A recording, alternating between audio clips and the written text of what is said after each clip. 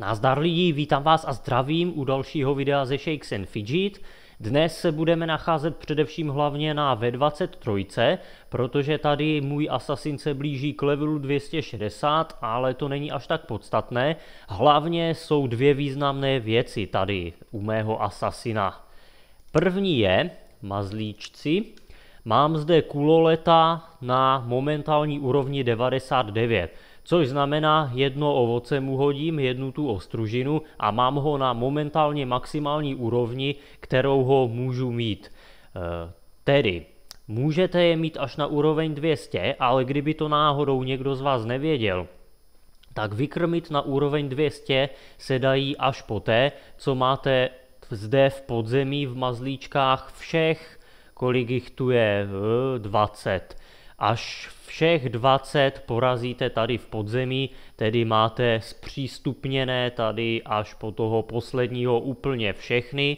Nemusíte je mít všechny nazbírané, všechny získané, ale musíte je mít prostě zpřístupněné až po toho posledního, tak pak teprve můžete krmit mazlíčky na úroveň 200.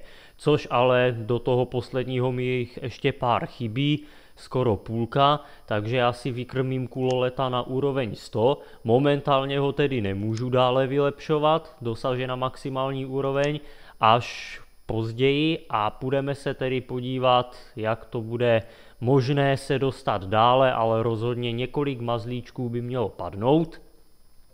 To je první věc. Druhá věc, máme zde nový klíč a to v podzemí ve stinném světě, takže si ho odemkneme a máme lávový prout. Takže nejdřív se podíváme na mazlíčky a pak zkusíme ten lávový prout stinný svět.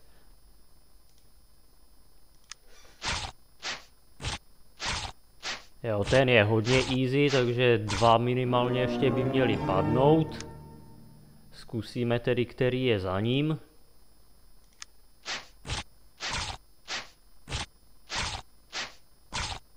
Jo, paráda.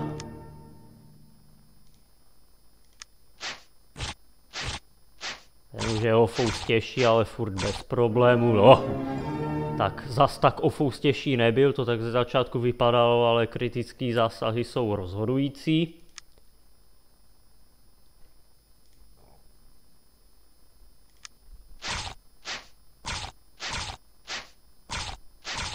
Ten už je o něco těžší, ale stále jsme s půlkou životů plus minus jej zvládli.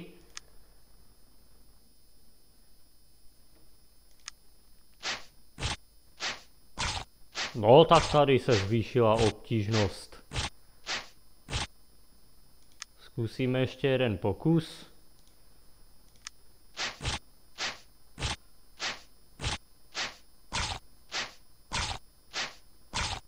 Ne, tak tady už nebudu dále plítvat houby, když tak si ho dorazím potom později, ale ve videu už se půjdem podívat na ten stíný svět.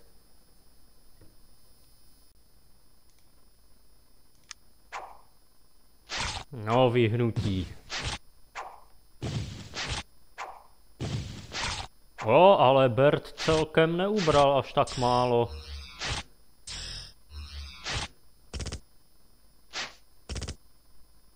To bude na dlouho. Jo, tak ten padne určitě.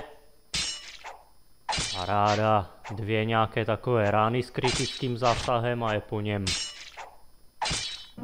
Super. O, Válečník má novou helmu a pěknou.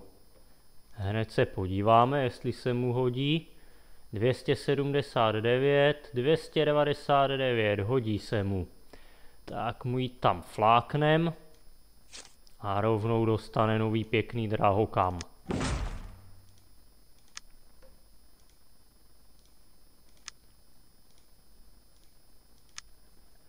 A co druhý?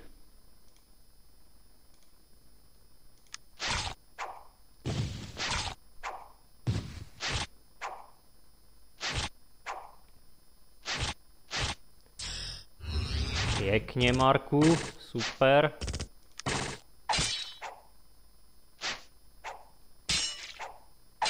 Ten už je krapet těžší, dává nám trochu víc zabrat.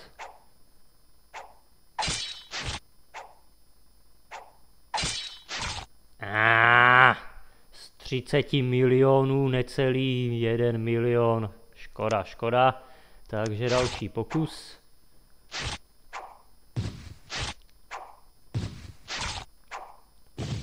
Dobře, berte aspoň na závěr.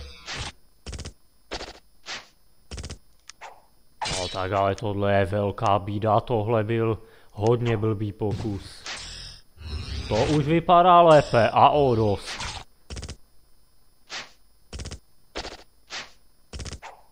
No, ale jak moji dva pomocníci úplně suprově zabrali, tak třetí, třetí to pohnojila.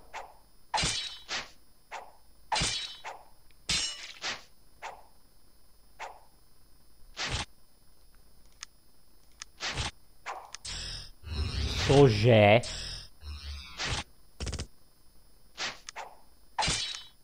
Jeva, no tak ten druhý nás zklamal, čekal jsem, že eh, v lávovém proudu se dostaneme o dost dál, to bude lepší asi osmé patro z deseti nemocného stromu.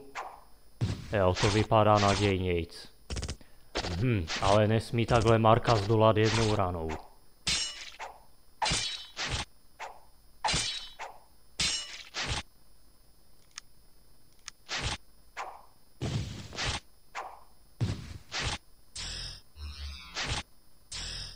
Paráda, přesně tak to má vypadat, teď jsem spokojený. Super, teď už jsem maximálně spokojený. Vynikající, ale bez drahokamů, že? Jo. Hm. Do záchoda se to hodit nedá, tak to dostane kovář.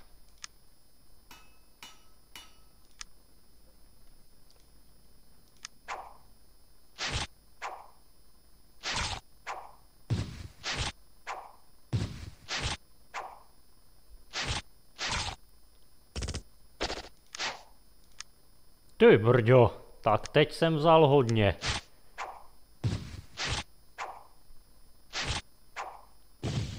Dobrá rána. Paráda, Marku. Nádhera. Tak teď musí padnout také a budem u desátého.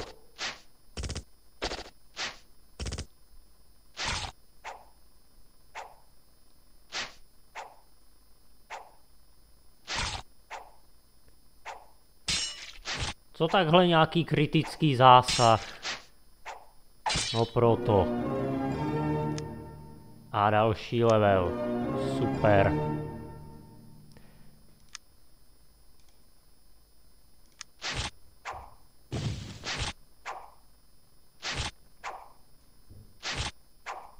S tím vyhýbáním s tou obratností už mi neskutečně pijou krev.